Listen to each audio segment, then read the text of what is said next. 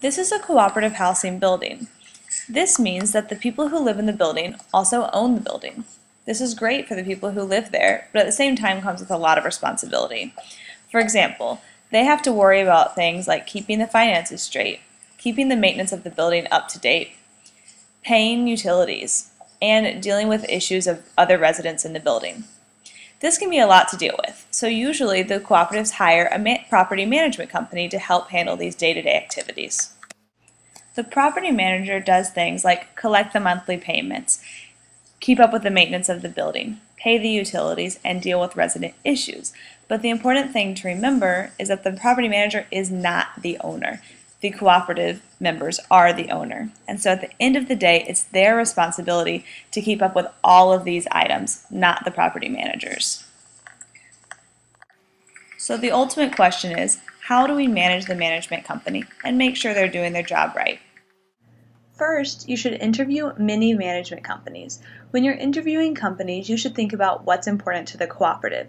For example, do many people speak Spanish in the cooperative? Are people extremely comfortable with technology and prefer to use the internet? Based on these things, you could ask questions like, do you have a property manager who speaks Spanish? And can we use the internet to pay the rent? Second, it's important to know your contract with the management company. Things like when do they provide the financials every month and how often will they do inspections. These are things you need to know so that you can appropriately monitor the management company. The third thing, and maybe most important, is communication. To make sure communication works both ways, between the property manager and between the cooperative. Communication should be fluid between the cooperative members, the board, and the property manager.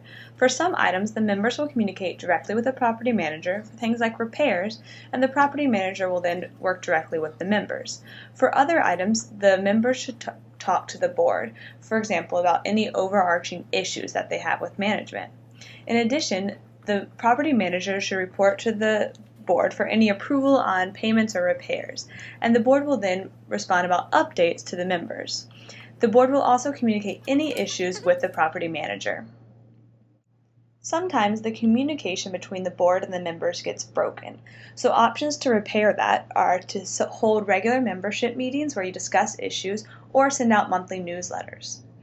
Also, there can be issues with communication between the property manager and the board. So how can you fix that? Once again, monthly members or monthly meetings or setting up um, an email chain with them and even assigning a liaison from the board to communicate with the property manager. Whatever works best for your cooperative.